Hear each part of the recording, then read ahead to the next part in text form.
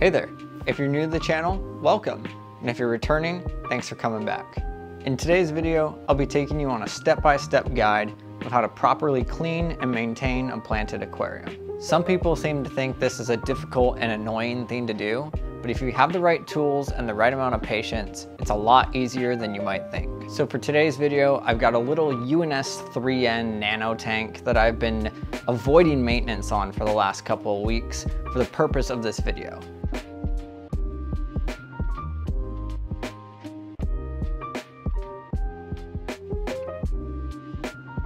So as you can see, there's some trimming I'll need to do in this setup, as well as some algae removal on the glass and the hardscape. So let's go grab all the tools we need and go through the process of cleaning this thing up. But before we get started, we need to talk about what tools we need to get this job done.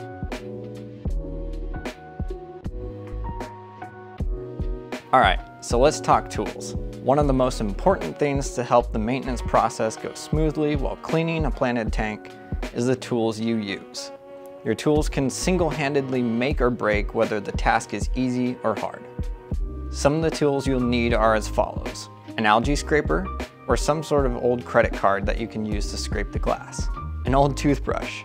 Please make sure you don't use your regular toothbrush and you go buy a dollar store one that you can use specifically for aquascapes. A pair of aquascaping scissors.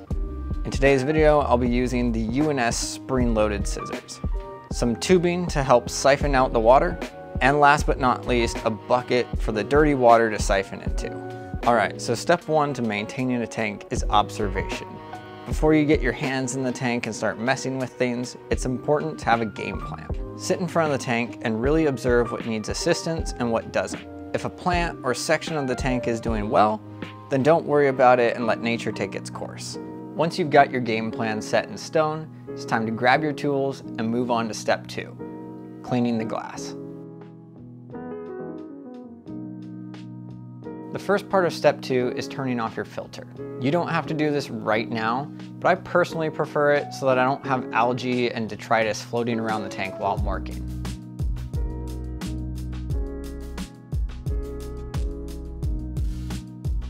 So after the filter is turned off, the next step I like to do is clean the glass. This way, when I'm doing the rest of the maintenance session, I have a perfectly clear, unobstructed view of what I'm working with. You can clean this in two ways.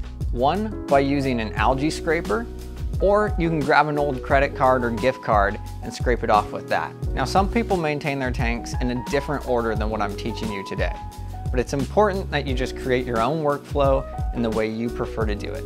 There is no right or wrong way to do this. So in the case of this tank, there's some spot algae on the glass, so I'm gonna grab my trusty algae scraper, which is basically just a razor blade attached to a stick, and I'm gonna scrape it off by going up and down all the way across from side to side on the tank.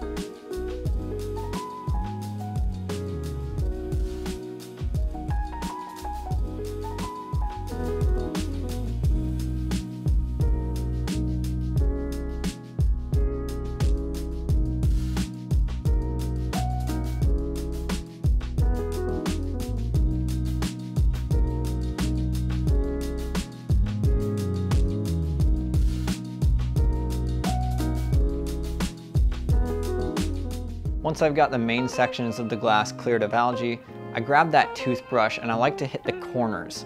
The reason I don't use the algae scraper on the corners is that's where the silicone is that holds the tank together. So I don't want to damage that silicone in any way. And using a soft bristle toothbrush allows me to scrape that algae off without risking any damage to the silicone and glass. Now that the glass is clean, it's time to move on to step three. Step three is the removal of algae on the hardscape and plants.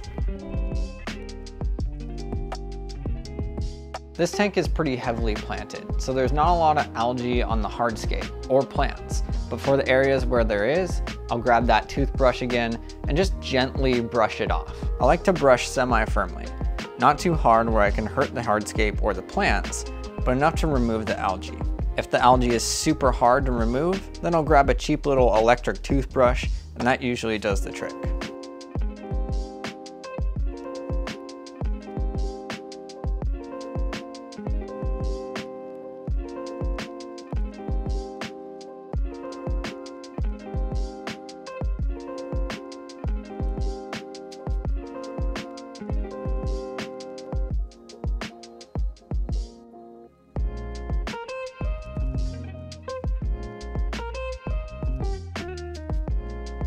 So now that we got the algae removed, it's time to move on to step four. Once you get to step four, it's time to bust out those scissors we mentioned earlier and get ready to start trimming plants. This tank doesn't need a ton of trimming right now, but there are a few spots that could use it, so very carefully trim the plants stem by stem at your desired height.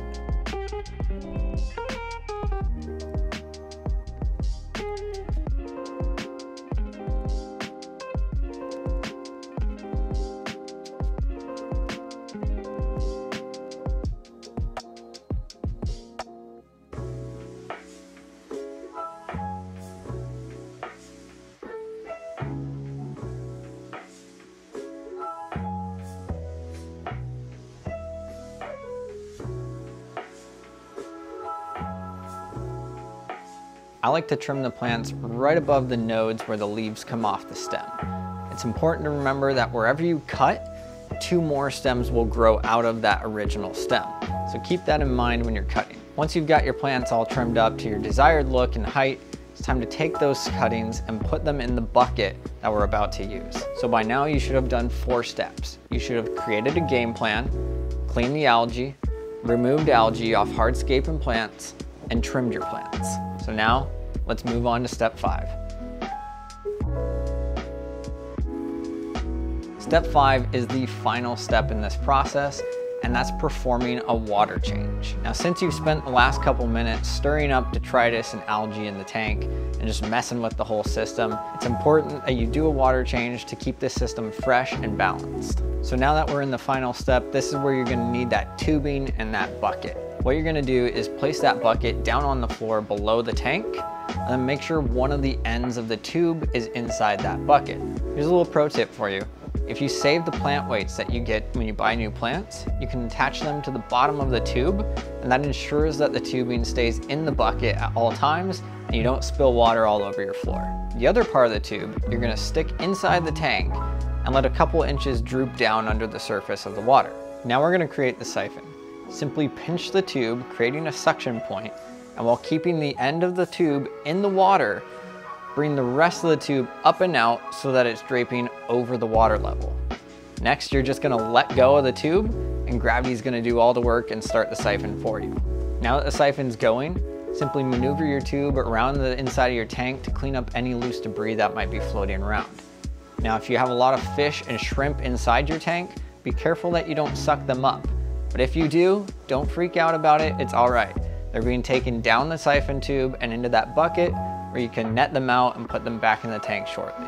When doing a water change, I like to drain between 40 and 50% of the tank water and then refill that with fresh, clean water at the end. Now to fill the tank, I usually just grab a watering can or a very large cup and find a spot where I can pour the water in gently enough that it's not gonna disturb everything. If you've got a bigger tank, then you can use a different method and maybe use a pump or to do a siphon straight from your sink into that.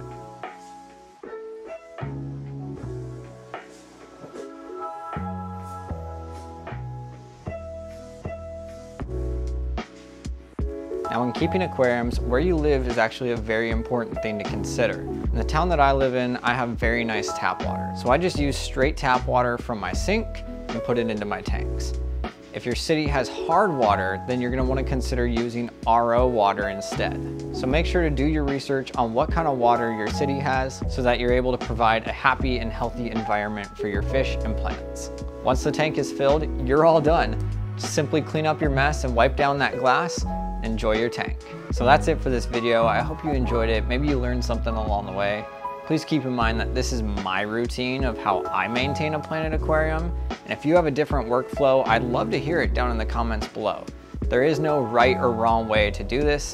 This is just my simple way of doing five steps to maintaining a planted aquarium. I hope you have a great rest of your day. If you're not subscribed, go ahead and do so. And as always, I'll see you in the next one.